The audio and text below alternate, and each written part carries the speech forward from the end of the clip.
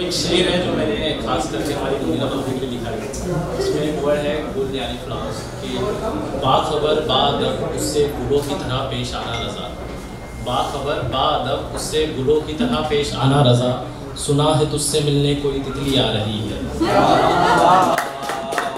और एक शेर मैंने अपनी क्रश के लिए लिखा था, वो है नहीं यहाँ पे तो सुनेंगे वीडियो भेजेंगे हम लोग कि मेरी ख्वाहिशों में एक ख्वाहिश ये भी रही। मेरी ख्वाहिशों में एक ख्वाहिश ये भी रही, दो पल के लिए ही सही तेरी बाहों में झूम। मेरी ख्वाहिशों में एक ख्वाहिश ये भी रही, दो पल के लिए ही सही मैं तेरी बाहों में झूम लूँ। फिर चाहे उम्र भर के लिए तर्क कर दे तू मुझे, बस तेरी खुशबू साथ कफन तक ले चलूँ। ये एक लाख पोएम मैंने हाल ही के दिनों में लिखी है हाँ दस लाइन की, हमारे सारे ख्वाब तोड़ जा रहा है तू, हम पर एक ऐसा आज़ाब छोड़ जा रहा है तू काटे ही तो करते हैं फूलों की हिफाजत। हमसे खामा खा दूर जा रहा है तू। शहर हमारे सारे ख्वाब तोड़ जा रहा है तू। हम पे ये कैसा अजाब छोड़ जा रहा है तू।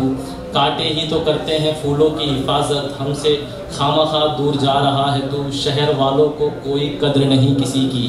वहाँ खुद को शर्मिंदा करवाने जा रहा है तू। बेमोल बेशकीमती लाजवाब है तू। बेमोल बेशकीमती लाजवाब है तू। बेवजह अपनी कीमत लगवा रहा है तू। तुझे खबर ना हो मगर जाते जाते सुन। तुझे खबर ना हो मगर जाते जाते सुन। तेरे जाने से सारा शहर वीरान करता जा रहा है।